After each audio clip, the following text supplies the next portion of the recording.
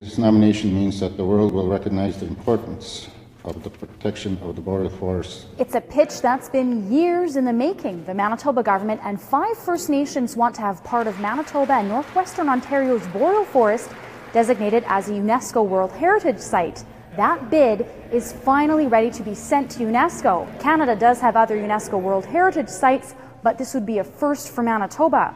The chief of the Bloodvein First Nation here in this province says this is definitely a spot worth saving. The protection of, uh, of the river, you know, the, land itself, uh, the lakes, uh, it means a great deal to our First Nation members uh, in order to protect it for the future.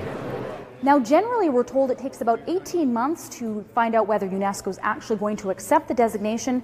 And of course, while Premier Greg Selinger can't say for sure whether that's going to be the case, he says their bid is strong and he is very confident. They've uh, made it clear that they saw a gap in World Heritage sites for boreal forests. We think we can fill that gap with this submission. For the Sun News Network in Winnipeg, I'm Tamara King.